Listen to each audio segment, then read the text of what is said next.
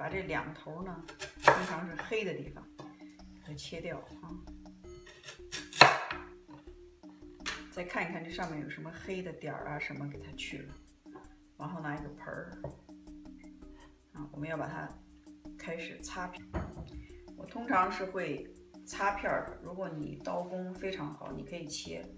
我呢是用这个擦擦，擦的好快。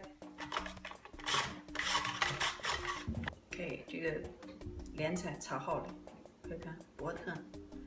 完了以后呢，放凉水，把它泡一下。为啥要放凉水呢？就是把那里头那个淀粉啊给它泡出来。这样的时候呢，你一会儿拌呢就好吃，就脆啊，非常重要。泡莲菜很重要的是要弄一个姜末哈，这个姜末一定要切的非常非常的细。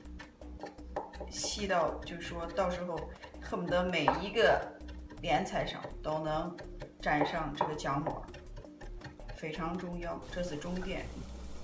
OK，我们现在开始照莲菜。这个莲菜呢，必须用开水来照哈，因为它很薄，所以呢，就是开水烫一下就行了。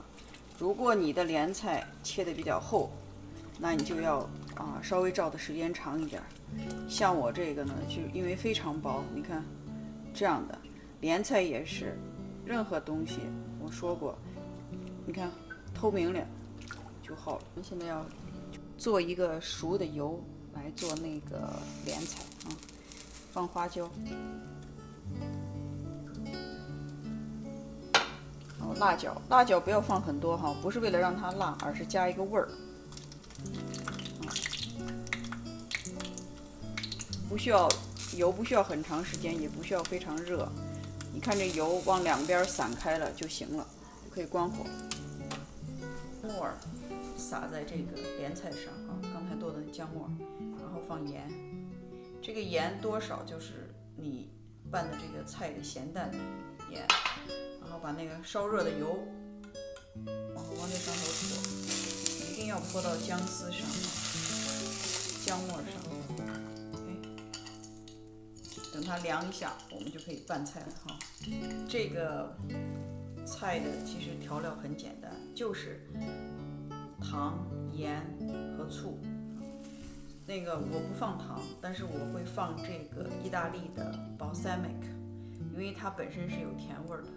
如果你不放意大利醋，你放中国的白醋或者西方的白醋，你都要加糖的。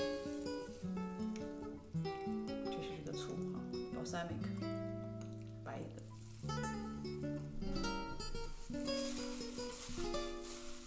可以就这样拌就行了。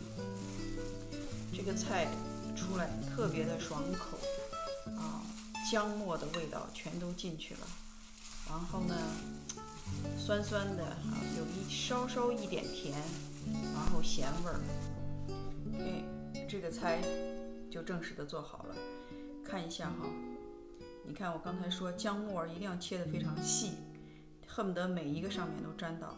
第二个呢，你这个莲藕要切得非常的薄，这样才好吃，脆啊，非常的脆。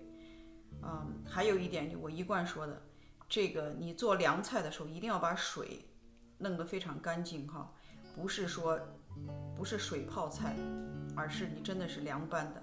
你看底下几乎几乎没有什么汁。这个就是醋的汁在底下，呃，完了以后呢，这是重点，尝一下，